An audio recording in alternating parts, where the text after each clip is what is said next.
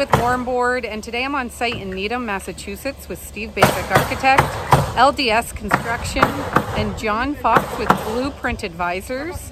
Now this home is using Warmboard S and our Warmboard comfort system. This home is about 2,300 square feet on the main floor alone.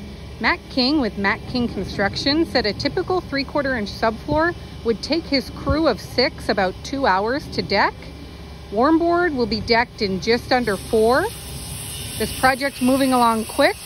Be sure to check back here at Warmboard and with Steve Baczek in the Build Show to see updated progress.